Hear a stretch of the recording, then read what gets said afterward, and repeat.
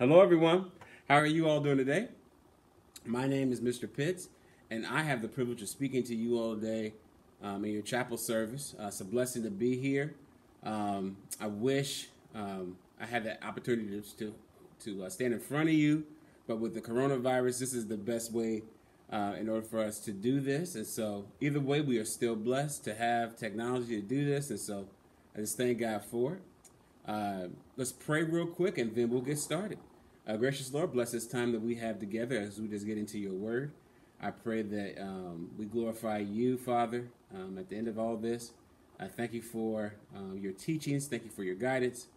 Uh, give me the strength, Father God, uh, to get um, to not just go through the word, Father God, but to make sure that uh, what I'm saying is clear and uh, will allow all of us to grow closer to you. And we ask all these things in your Son, Jesus' name we do pray. Amen. Okay, so let's get started. Um, first off, just introduce myself. As I told you, I'm Mr. Pitts, the ninth grade Bible teacher. Um, some of you probably visited my classroom uh, for your shadow days, you eighth graders. Um, I will see you eighth graders, soon to be ninth graders next year. So get used to this face because you'll be seeing that, and used to a lot of all these little little fun people that I hang out with called my. Uh, my well, they're not my friends. That's just weird, right? But anyway, um, yeah, I just you know I love Marvel, and so hopefully um, you like Marvel too. And if you don't, that's cool. But um, I'm just excited to have you in my classroom next year, just to get to know you and everything like that. So let's get started. So um, today I have the privilege of preaching to you uh, through the book of John, and so we're going to be we're going to read John 15, 1 through 11. And so th- this passage is basically the title of it is called "The Vine and the Branches." And some of you probably have heard this before. Probably heard your preachers um, at your churches speak about it, or you've talked about it in class, or you've read it.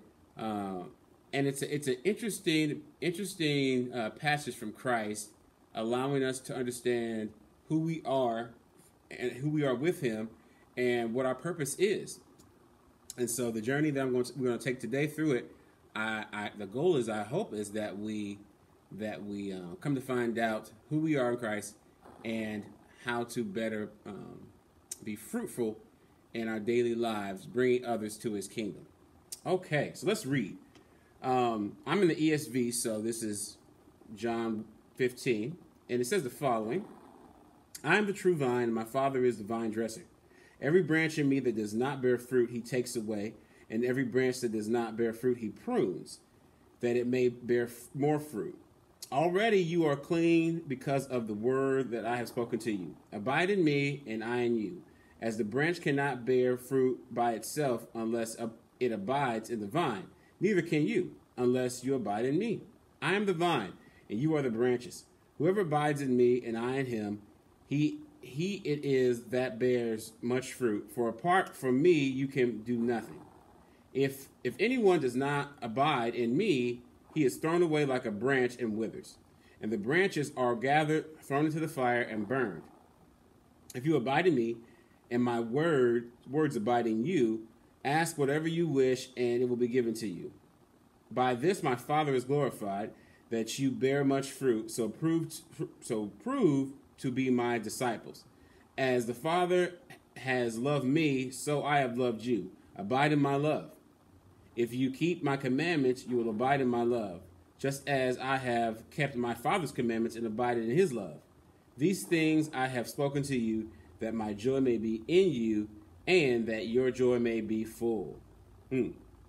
Amen. Okay, so um, now we've read, I'm well, the goal is to kind of break this down and kind of understand what Jesus is saying. Um, a lot of lot of re- repeated phrases such as abide, and things like that. So we're going to understand what that means. But first, we have to go through have three main points. Now, I always like to do three main points. Sometimes it's seven or whatever, but but I, but I believe a good message should have three main points. And so, what are you trying to say, Jesus? Here, what are, what are you talking about? Clarify this this whole thing so that we can understand what it means to be a disciple of Christ, because that is one of the goals he's, he wants us to be as his disciples. So, um, let's look at the first point. First thing, we have the characters. Uh, let's see. We have Jesus is the vine. Um, and so he's presented himself as the vine. He says the vine dresser is the Father. Um, he and he has um, he takes care of the vine. He takes care of the, the, branches. He he's the one who does the particular actions to each each sort of uh, you know branch. And that's the next one of our next characters, if you will, is the two types of branches. We have two here. We have the we have the uh, the one that bears fruit and the one that does not bear fruit. And so there's this there's this um, Jesus' lesson here to the people who are around, his disciples and other ones who are listening. Um, there are two types of two types of people or branches and equals people here. You know, those who who who, who are who are a part of me. Uh, oh, excuse me, those who bear fruit and then those who do not. Um, it's interesting because when I used to read this verse, I always thought as the the the the vine or the branch that did not produce any fruit were those who did, have never heard the word of God at all. But it's interesting because the two branches, two types of branches, are attached to the vine. Interesting. They're attached to the vine. The only problem is, is that one of them does not. One of them, this one up here, apparently, does not produce fruit, while this one does. And so, Jesus is, is already distinctly, you know, setting apart these two types of branches that are being being uh, seen here. And so here we go. So interesting. He's he's showing us there's a difference between the two. All right. So let's talk about the, the next topic is um, these two branches, the results. All right. So as you as you read in, in those verses, Jesus says that that that there are two types of branches: one that bears fruit and one that does not and the, the vine dresser is involved in all this and, and, how he handles each of the branches.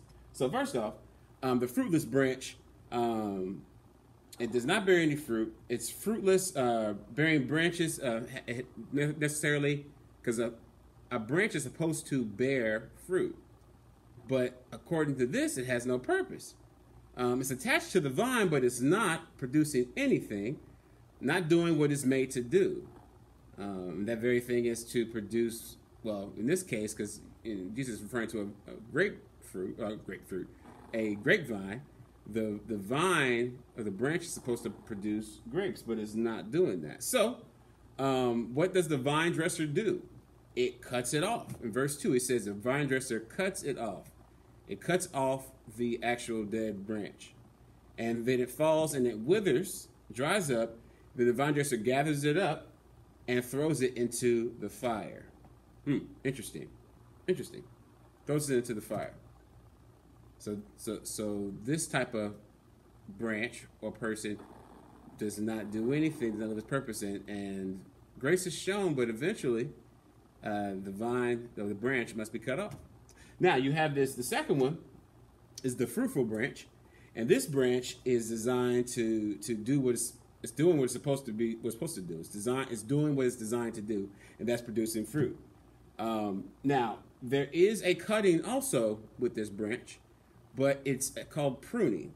And if you know anything about pruning, pruning um, is a method that most gardeners do. If you see your mom out there gardening or your dad, you know we're not sexist here, you know, and they're out there gardening, um, or if you see anybody trimming the hedges, usually you trim the hedges. You do those particular things because you want to cause growth um, when, when when you're dealing with a with a plant that has a particular vine and, and produces a particular fruit like like grapes or or um, tomatoes, you you would cut off or you would cut at certain parts of the branch so that the, the, the branch would be able to produce better fruit and grow grow grow yeah produce better fruit and grow. I'm not a botanist, but you know what I mean that that that so pruning is necessary for growth in life. And so this this particular branch here that Jesus is talking about, this person, um, he also they also are being cut, but they are being pruned. Now you say, what? Well, um, does pruning mean God's trying to cut us off too? No.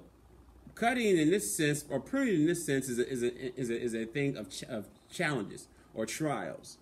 Uh, for example, we're all going through a great trial right now. Corona. We're stuck at home. You know, we're not in the classroom. We're not seeing our friends. We can't travel like we want to. Um, praise God, we can still go outside, unlike other states. But you know, we're going through a trial. Uh, and what trials are all a process of building our faith, of making our faith grow. So pruning is not a bad thing for a Christian.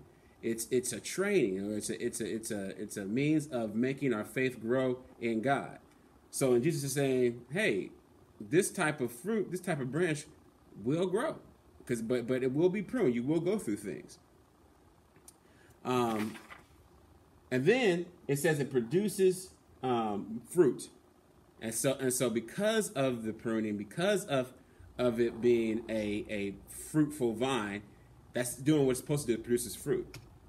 And so, what type of fruit? Fruits of the spirit or spiritual fruits. And here's a cool. Here's a cool thing about it.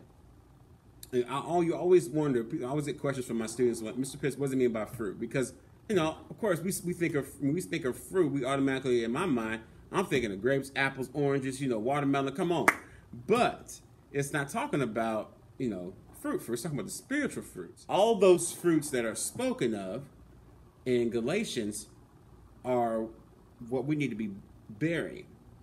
And I, I put here, we're fruit bearers, not pickers. Uh, I, I, saw, read a message the other day. I heard a message the other day from John Piper. Beautiful message about what it means to be a fruit, a fruit bearer rather than a picker. A picker is one who goes around and takes and adds to their collection. You can't do that with the fruits of the spirit. You can't go and say, "Well, I'm gonna have joy today.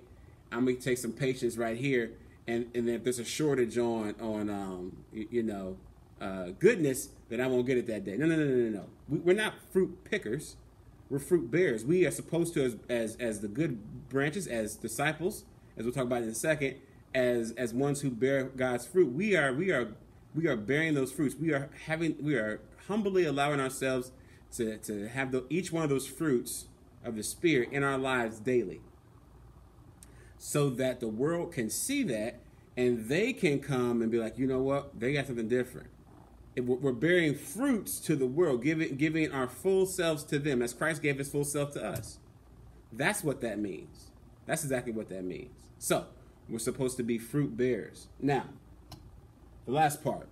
One thing that we need to do that sets us apart from uh, whether you're a a branch that doesn't produce fruit or a branch that does produce fruit and that is what Jesus keeps repeating over and over again, and that is abide. What does it mean to abide? Um, abide means to remain, to remain, stay in place, or continue to exist. You know, you're there. Um, for example, we're remaining home. Stay at home, stay shelter in. That's what the, the president and our governor and all that. If you don't have to go outside, remain at home, abide at home, stay there, exist in that area. So Jesus is saying sort of like that, but he's saying those who are part of me will abide with me, and I will abide in you. Like, and that's what he's saying. Abide in me, and I will abide in you. You can see that. There we go. Focus on there. Abide in me, and I'll abide in you. Like the, the point is, is that is, is that if you choose to abide in me and allow me to be in your life, allowing allowing the nutrients, if you will, I'm going back to divine, the nutrients of the of my spirit to move through you so you can produce these fruits, you will you will remain. You won't you won't be cut off. You don't have to worry about that. Just daily commit to abide in me, and I will abide in you.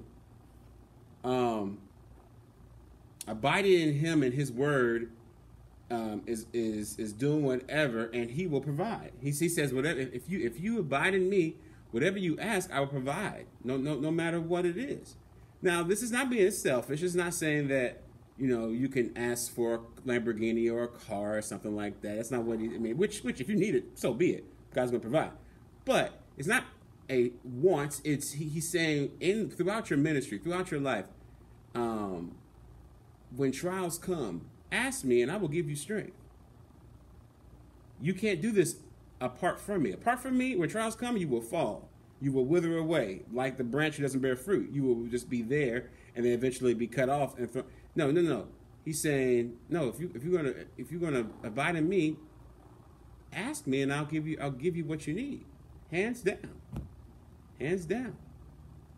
So, um, and through all this, the point of all this is not for us to be glorified, but for God to be glorified.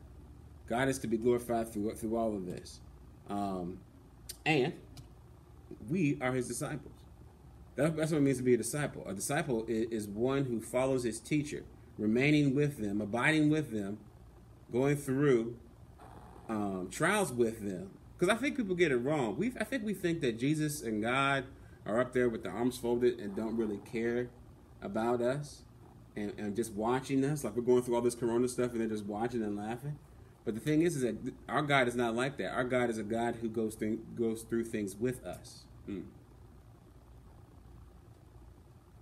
He he he he bears our burdens and he goes through the trials with us. As a matter of fact, I always like to think that God is carrying me through this. As a as a vine supports its branches, that's what Jesus is doing for us. So, here's the thing though. It's interesting that Jesus gives us this passage and, and, and presents all these different know, these two different choices we have basically. He presents who Jesus who he is, who God is, and then he pre- presents who we who we who we are, who who, the, who we are or who we could be. Like in other words, he's giving us a choice here, and so what do you choose? Are you a, are you a are you a believer in Jesus Christ? Because here's the thing: I believe people do come to Christ, um, and maybe you have at one point, and you believed in your heart, but because of things that have gone on in your life, you kind of don't believe as you used to. And, and because of that, you've kind of gotten stubborn and not been bearing the fruits of the Spirit, not been showing love to your parents, to your to your siblings, not being patient with them, not not being good to them, not long suffering or, or, or always complaining, not doing the very things that that, that the fruits of the Spirit um, are. And that and that's been hard. That's been hard.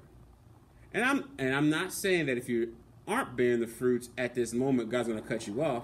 But eventually, if if if if you're just taking up the the, the, the, the vine's nutrients, or excuse me, or God's goodness, and but you but you've cut off the, the very purpose of what you are here to do, and that is to bear fruit, bear the fruits of the spirit to bring others to God.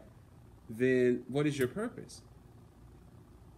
Why are you why are you doing this? You know? You know, it's like the, my pastor always said, just because, you know, you know, when it comes to being a Christian, people say they're Christians all the time. But are they? You know, if I park myself, my pastor just said this. He said, if I park myself in a garage, am I automatically a car? No. It's it's more than that. It's more than just going to church on Sunday. It's more than just going reading your Bible uh, which you're supposed to do. We, it's good fellowship, but it's more than just going to a Christian school and be like, I'm a Christian. No, do you have a relationship with Christ? And so that's my the other choice is, are you a believer? And if you are, if you are, then then you then then continue to abide in Him. You have the choice. You can remain not producing fruit, or you or produce fruit and abide in me. This is how you produce fruit is when you abide, when you rest, when you remain with me. Here's the cool thing. Jesus remains in us when we let when we allow him to do that. And he doesn't do it by force. He's a, he's a gentleman. His hand is reached out and saying, Come on. Abide with me. So, um, hopefully this, this this message has, has inspired you to follow Christ. Um, please, if you have any, if you want to talk about this with family or things like that, reach out to someone. Reach out to your teacher. Um, you can even contact me and we can talk about it. But make the choice today. Choose today. Choose to be a disciple who produces fruit. Amen and amen. Thank y'all for having me and have a wonderful day.